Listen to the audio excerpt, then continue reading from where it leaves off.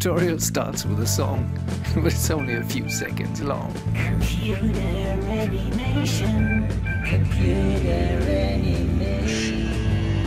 Computer, computer animation. Animation. Let's get started with animation. Hi folks, I want to show you a problem today and how to solve it. This is a clip which I rendered for one of my previous tutorials. And you see it's very nice, the light changes. There's somebody down here and you see his shadow now here. So, um, and she's slightly out of focus because I use depth of field uh, in this scene. But the light is flickering all the time. So it's basically unusable. And uh, in another shot I did this. You see the sun turns around. When it comes back from the other side, you see that flickering again. Here it comes. So from one frame to another, we have different exposure. This is from frame to frame. It's not pleasant at all. I posted this question in the Autodesk Maya area forum and I got a reply pretty soon. The Arnold documentation about the physical sky, which is the only light in the scene that I just showed you, uh, states that this is an experimental shader. Although it has been tested extensively, please be warned before using it in production. And up here we see the shader implements a variation of the Hosek Wilkie sky radiance model. Who is Hosek Wilkie?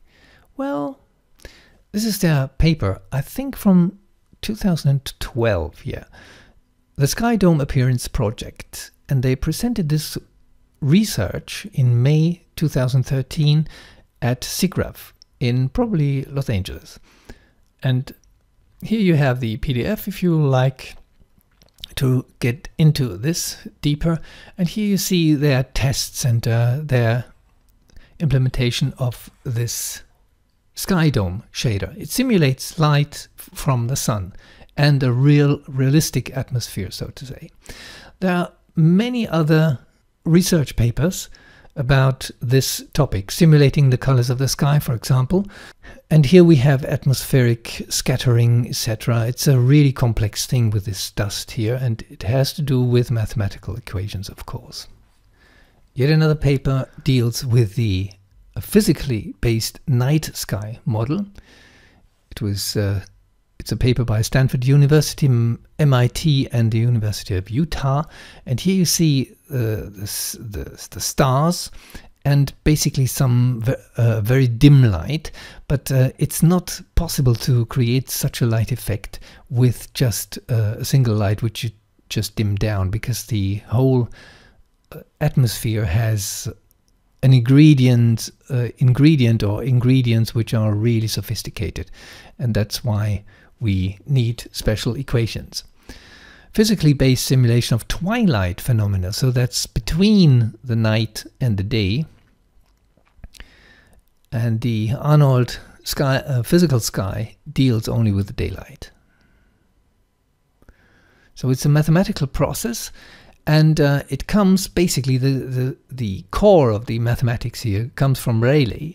It's called Rayleigh scattering, and here you see an image here. This is the English Wikipedia page.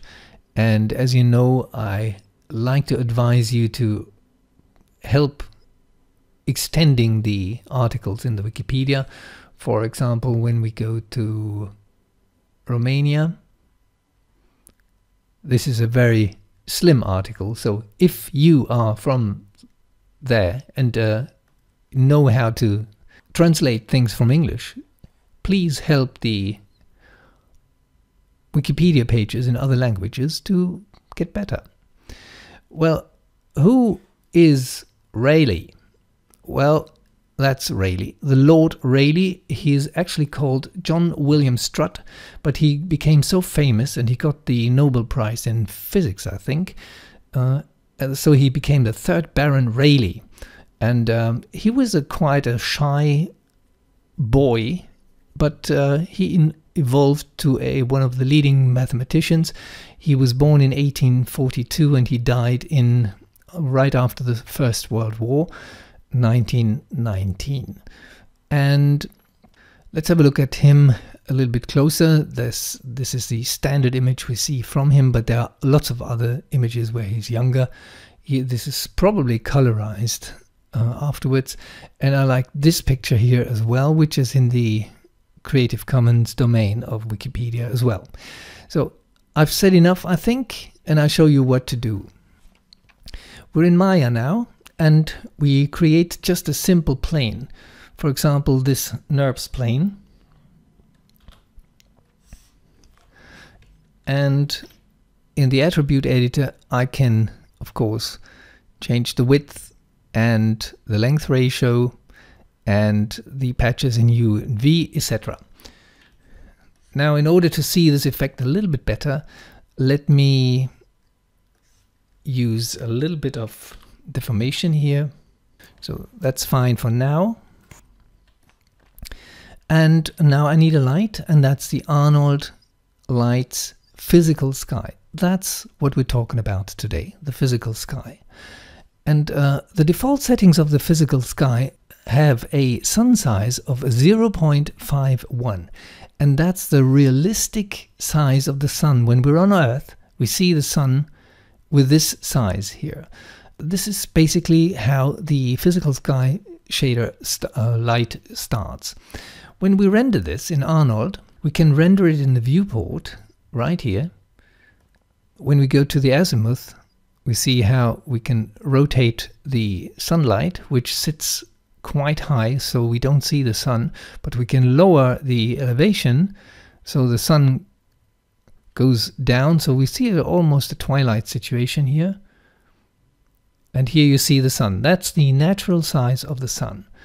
Of course, you don't see any flickering when you keep the sun in a stable position, but once you animate the sun, you run into that problem. So let's animate the position of the sun uh, by right-clicking on azimuth, and we set a key here. We're currently at frame number one. So we go at to the end here, and now we change this just so the sun walks over here, and we set a second key. So we have two keyframes now, and when we run this rendering here, we see how the sun moves from left to right. Okay, and now I go to the render settings and I call this physical sky tutorial 01 PNG and I start frame is 1 and the end frame is 120 and I don't need a big resolution here so it's 960 by 540 and I just go to rendering and render the sequence or if you have a full license not the student license as I have it uh, you can uh, batch render it uh, which is uh, where is it?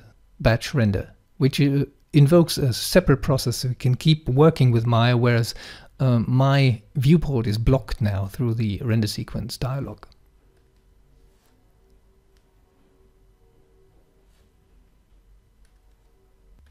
From a distance, it doesn't really look that bad, but if you have a closer look at the bottom here, at the landscape, you see that flickering. And when I do the same rendering with a little bit more intensity, because it's a very dim light anyway, in the late evening, I guess, you can see in this shot from the top how massively it flickers. Well, the solution to the whole problem is going to the physical sky attribute editor. And in the attributes, you find two parameters which are of critical size here. If you don't see the sun in the rendering, like you just didn't see the sun because we looked from the top down onto the landscape, you can just set the sun size to any value here. And if you raise this to from 0.5 to 1, you get a much better result. Let's render this.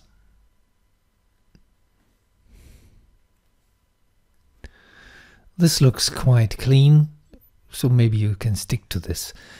Uh, the other option is going back to the original sun size 5.1, 05.1, and then we need to go to the AI Skydome light shape, which is basically the the sphere here, and we change the resolution. The default is 1000.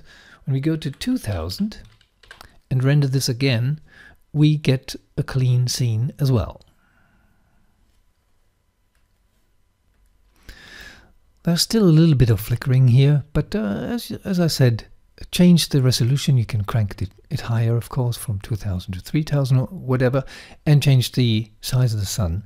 And uh, these two parameters are excellent for making the physical sky work in production. Use the Maya area in order to get your questions answered. I find it very hard to go back to one of my 400 plus tutorials and please do use that forum, Autodesk Maya area, rather than asking me questions because uh, I cannot, I just don't have the time to answer them. Uh, if I get uh, a question for the tutorial number 52, which was maybe three years ago, about this and that, a very specific question, very wise question in most cases. Uh, I just don't have the time to go back to that tutorial. I just want to go on to the next tutorial I'm going to make. And uh, with this, I wish you a very good day. Bye bye. Thank you.